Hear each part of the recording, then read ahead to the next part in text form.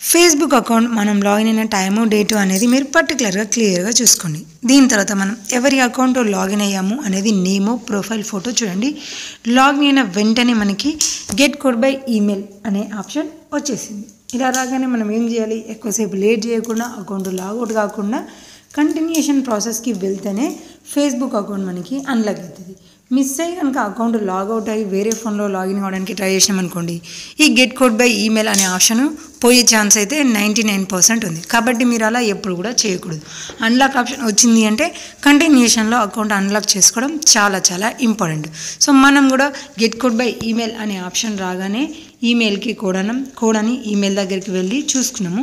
చూసుకున్న తర్వాత ఫ్యూ సెకండ్స్కి చూడండి లాగిన్ అలర్ట్ అని అంటే మనం అకౌంట్లో వేరే డివైస్లో లాగిన్ అయినాం కదా దానికి సంబంధించిన సెక్యూరిటీ అలర్ట్ వచ్చింది. దీని తర్వాత మనం రిఫ్రెష్ అనగానే ఫేస్బుక్ అకౌంట్ అన్లాక్ చేసుకోవడానికి కోడ్ వస్తుంది కదా ఆ ఈమెయిల్ అనేది మనకి రిసీవ్ అవుతుంది ఒకవేళ మీకు అలా కాలేదు అని అంటే వెంటనే మీరు ఏం చేయాలి? ఈమెయిల్ దగ్గర హోమ్ పేజ్ దగ్గర ఉండి రిఫ్రెష్ అని చెక్ చేసుకోవాలి. అలా అన్నప్పుడే మనకి మెయిల్స్ అనేది రిసీవ్ అవుతాయి. అకౌంట్ అన్లాక్ చేసుకోవడానికి వచ్చిన మెయిల్ వేరు ఫేస్బుక్ సెక్యూరిటీ కోడ్ అని ఉంటుంది. ఇలా ఉంది అంటే అకౌంట్ అన్లాక్ చేసుకోవడానికి వచ్చిన కోడ్ అని మీరు క్లియర్గా చూసుకోవాలి. ఈ కింద మనకి ఎయిట్ లెటర్స్తోని కోడ్ ఉంటుంది. ఈమెయిల్కి కోడ్ వచ్చినప్పుడు ఈ ఎయిట్ లెటర్స్ అనేది క్లియర్గా చూసి అయినా లేదంటే ఈ విధంగా కాపీ అయినా చేసుకొని మళ్ళీ ఎంటర్ కోడ్ అనే ఆప్షన్ దగ్గరికి వెళ్ళి అక్కడ డైరెక్ట్గా పేస్ట్ చేయడం చాలా ఈజీగా ఉంటుంది. సో టైప్ చేస్తే కొంచెం స్పెల్లింగ్ అంటే నెంబర్స్ మిస్టేక్ అయితే మాత్రం అకౌంట్ అన్లాక్ కాదు. మళ్ళీ ఆప్షన్ అనేది స్పాట్లో పోతుంది కాబట్టి కాపీ చేసుకొని పేస్ట్ అనేది సబ్మిట్ అనగానే చూడండి next step to unlock your account అని ఫేస్బుక్ అకౌంట్ అన్లాక్ అయిపోయింది. సో ఓపెన్ కావడానికి ఇక నుంచి వెళ్ళి ఫ్యూ స్టెప్స్ ఉంటాయి. వాటిని కూడా మీరు క్లియర్గా చూస్తే మీరు మీ ఫోన్లో ఆప్షన్ వచ్చినప్పుడు ఈజీగా అకౌంట్ ఓపెన్ చేసుకోవచ్చు. సెక్యూర్ యువర్ లాగిన్ డీటెయిల్స్ తర్వాత మనకి క్రియేట్ ఏ న్యూ పాస్వర్డ్ అనే ఆప్షన్ వచ్చింది.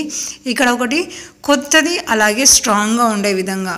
ఏబిసిడీలు వన్ టూ త్రీలు స్పెషల్ క్యారెక్టర్స్ ఇవన్నీ కూడా కలుపుకొని ఒక స్ట్రాంగ్ అయిన పాస్వర్డ్ క్రియేట్ చేసుకోండి. క్రియేట్ చేసుకున్న తర్వాత కింద సేవ్ చేంజెస్ లేదంటే సేవ్ పాస్వర్డ్ అని ఇలా ఏ విధంగానైనా ఉంటుంది. అలా ఉన్నదాన్ని కింద బ్లూ కలర్లో హైలైట్ అయ్యి కనిపిస్తాయి కాబట్టి ఈ సేవ్ చేంజెస్ అనే ఆప్షన్ని క్లిక్ చేయండి. క్లిక్ చేసిన తర్వాత ఇక్కడ చూడండి వీళ్ళకి ఎలాంటి ఆప్షన్ అనేది రావట్లేదు. అంటే లోడ్ అయిన నెక్స్ట్ పేజీకి వెళ్ళట్లేదు.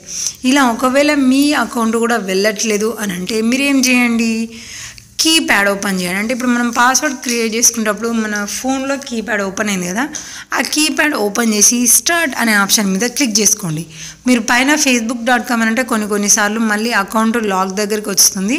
అక్కడ నుంచి మళ్ళీ అకౌంట్ అన్లాక్ ఆప్షన్ కూడా చేంజ్ అవుతుంది. నేను చాలామందికి చూశాను. కాబట్టి ఫేస్బుక్ డాట్ కామ్ అని ఇక్కడ టైప్ చేయకుండా ఒకసారి మీరు కీప్యాడ్ ఓపెన్ చేసి స్టార్ట్ అనండి. స్టార్ట్ అనగానే మనకి ఇక్కడ సంథింగ్ వెంటడు రాంగ్ అని చూపిస్తుంది.